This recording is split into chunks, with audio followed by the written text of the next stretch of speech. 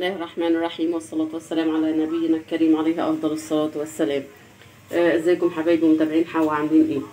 آه، النهارده هنعمل مع بعض معلش أنا مأخرة معاكم شوية بالنسبة لحلويات ال- المولد.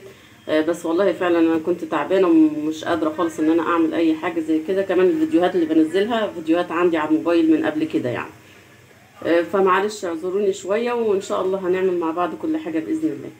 آه، النهارده هنعمل مع بعض إحنا عملنا قبل كده الملبن الحب النهارده هنعمل مع بعض الشكلمة. آه، مكوناتها سهلة وبسيطة وموجودة عندك في البيت. آه، يعني حاجات كلها متواجدة أغلبها في البيت. آه، معانا هنا اولا المكونات بتاعتها هنقول عليها إيه هي.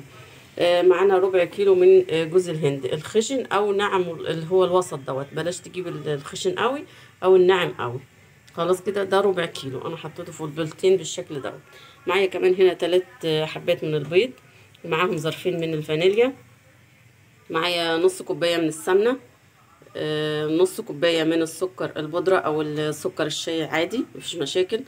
آه، معايا هنا دول معلقتين تحت هم أنا حاطة من تحت كده معلقتين من الدقيق ومعاهم معلقة كبيرة من اللبن البودر كامل الدسم. كمان هنا معانا للتزيين آه، كريز. خلاص كده آه، أول حاجة هنبدأ هنحط المكونات بتاعتنا. عندك مضرب ما فيش مشاكل مضرب كهربائي ما فيش. يبقى بالمضرب اليدوي عادي وتشتغلي بيه من هي مش محتاجة يعني. بس عشان أنا دراعي تعبني شوية فهشتغل بالمضرب اليدوي الكهربائي.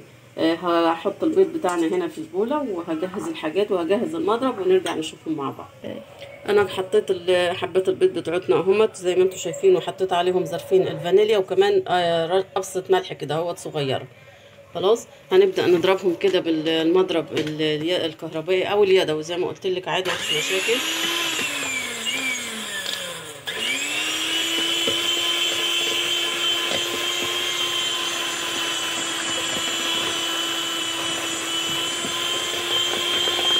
أول ما يسوا كده معانا بالشكل دوت هنبدأ نحط السكر عليهم ونضربه مع بعض شوية كده أهو. أهو نص الكوبايه وهنضرب البيض والسكر مع بعض لغاية ما ياخد قوام كده شوية. بعد ما ضربت البيض والسكر بالشكل دوت إحنا مش عايزين ضرب جامد يعني بالشكل ده حاجة خفيفة كده. آه هناخد معانا السمنة بالشكل دوت. خلي كمان منهم حبة كده هدهن بيهم الصاج بتاعته هنضرب برضو السمنة لغاية لما تختلط خالص كده وتمتزج مع البيض والسكر. بعد ما خلطنا المكونات هي مجرد خلط مش ضرب يعني زي ما بنضرب في الكيكات أو كده. معايا معلقة هنا أنا منزلاها في المية وهاخد بيها أنا ما قلتش في المكونات في معلقة من العسل الجلوكوز ماشي؟ اللي هو بتاع حلويات المولد وكده. هتملي المعلقة بالشكل دوت أهو. ماشي؟ هتروحي منزلاها هناخدها كده. اهو مفيش عسل جلوكوز عندك مفيش مشاكل. تحط ممكن معلقة من من عسل النحل. ماشي. أو السيرب أو اللي هو الشربات اللي إحنا بنعمله بتاع الكنافة أو كده اللي هو بس يكون تقيل شوية. تحطي برضو معلقة زي كده. خلاص كده؟ هضربها برضو شوية كده.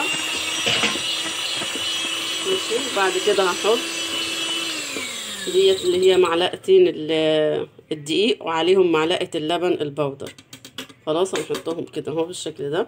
وهنضرب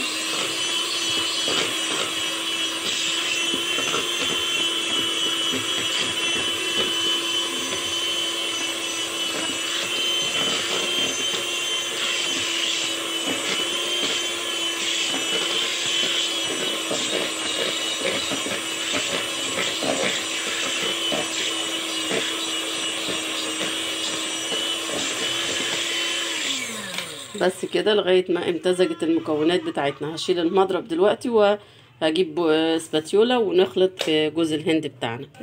كده خلصنا خلط المكونات وشلت المضرب خالص اهو.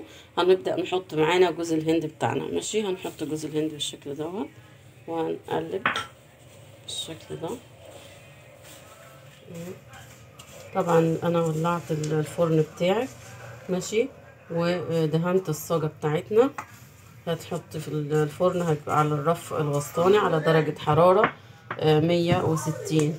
وما تزيدش عن كده علشان يستوي معاكي إيه بالراحة. هو ما يصفر القعر بتاعه لو ما حمرش من فوق ومن تحت زي بعضه وحمر من تحت بس هتطفي عليه وهتولعي عليه الشواية من فوق عشان ياخد لون أصفر ذهبي معاكي.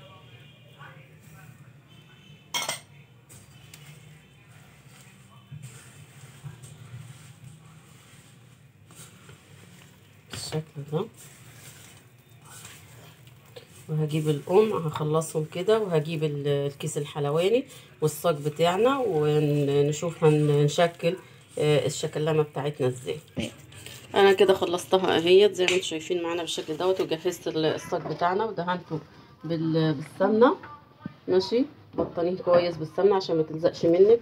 وكمان جهزت ال- قمع ال- الكيس الحلواني ومعايا البلبلة ديت اللي هي إيه بالشكل دوت واسعة شوية عشان ينزل منها جوز الهند اهي زي اللي أنتم شايفينها كده. هدخلها في الكيس الحلواني بتاعنا ماشي وهنملاه بال الشكلمه بتاعتنا وننزل كده. مش عايزة برضو ما عندكيش ال- القمع دوت الكيس الحلواني بإيدك كده تبلي إيدك مية وتكوريها وتحطيها عادي يعني الشكل بتاعها مش مشكلة مش مهم. بس طالما متوفر عندنا يبقى نعمل بيه نحط كده حبة ما تمليهوش كله. ماشي؟ عشان ما يتقلش على إيدك والكيس يتقطع منك خلاص؟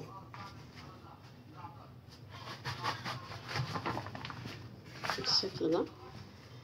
بسم الله الرحمن الرحيم. هي البلبلة شايفينها بس هي مش طالعة من الأم. ماشي؟ ننزل كده. بسم الله الرحمن الرحيم.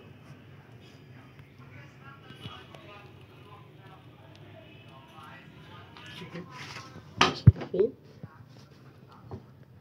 تسيبي مسافة بين كل واحدة والتانية. ماشي؟ لأن هي برضو إيه هتنفش معانا شوية عشان هي فيها بيض. أيوة مفيهاش مواد رافعة ولا حاجة بس فيها بيض برضو والبيض بيبقى مادة إيه رافعة شوية بتزيد من الحاجة. بالشكل ده. كفاية كده. نحط واحدة صغيرة هنا. عايزة تكبري الحجم بقى يرجع ليك. عايزة تعمليها أكبر من كده؟ مفيش مشاكل. عايزة ت- تصغري بس هي ده الحجم المعقول بتاعها. شايفين؟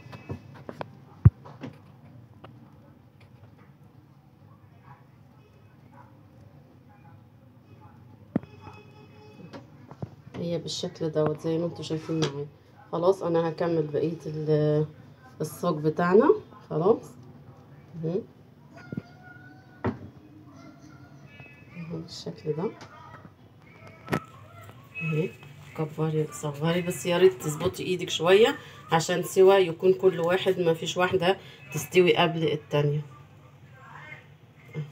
خلاص هعملها تاني الام الكيس الحلواني هملاه وهكمل بقيه الصاج وهنشوف التزيين بتاعها هيكون إزاي ودرجه الحراره والسوا بتاعنا اكمل وارجع لكم أنا خلصت الصاج اهو زي ما أنتم شايفين آه، وحدات الشكلمه بالشكل دوت وكمان قطعت الكريز بتاعنا انصاف كده. كل واحدة تقطعيها نصين نصين. وعملت الحبة دول اهو بالشكل ده. ماشي؟ تحطيها كده فوق الشكلمه وتضغطي عليها بالشكل ده. ضغطة إيه؟ بسيطة كده اهي. قطعها نصين. ماشي؟ تقطعيها نصين. وتروحي حطها برضو كده. وضغطة خفيفة بصباعك بس كده. بالشكل ده. ماشي. أهو. زي ما قلت لكم أنا مشغلة ال- الفرن على درجة حرارة 160 هتحطيها على الرف الوسطاني لمدة ربع ساعة مش أكتر من كده عشان ما تنشفش منك. آه، لو حمرت من تحت معاكي ولسه الوش بتاعك يبقى تطفي عليها على طول وتشغلي عليها الشواية تاخد لون ذهبي معاكي وبعد كده تخرجيها. هنشوف كمان بعد ما هنخرجها هنعمل فيها إيه برضو. معانا آه، هنسقيها بالسيرب إزاي والطريقة بتاعة التقديم بتاعتها بالشكل دوت. ماشي؟ هتكون معانا إزاي؟ خلاص أهو بالشكل ده. وتكون عملت الشكلمة في البيت بمقادير بسيطة وسهلة ونظيفة. وتفرحي بيها أولادك وتكوني يعني إحنا إن شاء الله بعد كده هنعمل حلاوة المولد كلها بإذن الله هنعملها في البيت وهتخلينا في غنى عن إن إحنا نشتري من بره بمبالغ طبعا أنتوا عارفينها. خلاص كده أنا هدخلها الفرن على درجة حرارة 160 على الرف الوسطاني مدة ربع ساعة وهرجع لكم بعدين. اللمه بتاعتنا أهي زي طلعت زي ما أنتوا شايفين كده هي لسه سخنة. أنا حبيت أديها اللون الزيادة دوت كده لأن الولاد بيحبوها محمرة شوية. لو أنت عايزة تطلعيها أصفر خالص بالشكل دوت زي كده مثلا يا دوب بتاخد اللون الفاتح كده الأشقر ماشي. عايزة تحمريها بالشكل ده بس هي شكلها كده آه، جميل بصراحة. معايا هنا دوت السيرب بتاعنا أو القطر أو الشربات زي ما بيسموه قطر في الدول العربية. آه، دوت نص كوباية سكر على نص كوباية مية عليهم نقطتين ليمون. ماشي وحطيت على وشهم بس كده إيه معلقة من الزبدة عشان تدي تطعيمة للشكلمة بتاعتنا. هندي بقى كده إيه هنسقسق الشكلمة كده واحدة واحدة كده بالفرشة. طبعا الشربات هي لسه طالعة من الفرن والشربات بتاعنا يكون دافي. لا هو سخن قوي ماشي ولا هو بارد قوي. خلاص لأن هي مش مثلا اللي هي النوع اللي بيبقى مثلا زي الحلويات الطرية خالص زي البسبوسة أو كده. لازم تكون ماسكة نفسها شوية. خلاص؟ اهو بالشكل ده. وهنسيبها طبعا شوية كده في الصاج بتاعها لغاية لما تتشرب ال- الشربات بتاعها دوت وبعد كده هنقدمها في الطبق. خلاص أنا كده بس حبيت اوريكم اهو معايا أنا بعمل لها إيه. بالشكل ده أهو. ماشي هكمل بقية الشكلمة بتاعتنا وهسيبها حوالي عشر دقايق كده في الصاج تهدى وتتشرب وبعد كده هقدمها في الطبق ونشوفها مع بعض.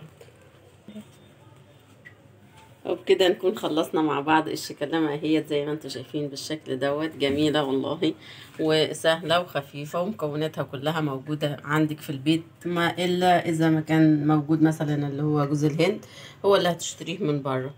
ماشي ربع كيلو بس عمل الكمية ديت وفي طبق تاني زي كده كمان زي ما أنتوا شفتوا كده الصاج معايا واتبقى كمان كان حباية واحدة تاني كده عملتهم في صينية صغيرة. آه، وتعملي حلوى المولد زي ما بيقولوا للولاد من البيت بطريقة سهلة وجميلة. ماشي؟ ومكونات برضو بسيطة. بقية المكونات موجودة عندك في البيت. هتقولي ما عنديش سمنة عندك سمنة عندك دقيق. كل مكوناتك موجودة في البيت وتفرحي بيها أولادك. وكل سنة وأنتم طيبين. وصلى الله على سيدنا محمد وعلى آله وصحبه وسلم. وإلا رسول الله. وأتمنى إن الفيديو يكون عجبكم. وحبايبنا اللي بيتفرجوا علينا الجداد ما تنسوناش آه، دوسوا على اشتراك القناة وزر تفعيل الجرس. ومتابعين حواء ال like وال share للفيديو. وكل اللي بيشاهدونا ما تنسوناش في ال like وال share وال subscribe. وكمان يا ريت تفعلوا الجرس عشان يوصلكم كل جديد. ومن هنا للفيديو الجاي أسيبكم في رعاية الله وحفظه. وكل عام وأنتم بخير. وسلام عليكم.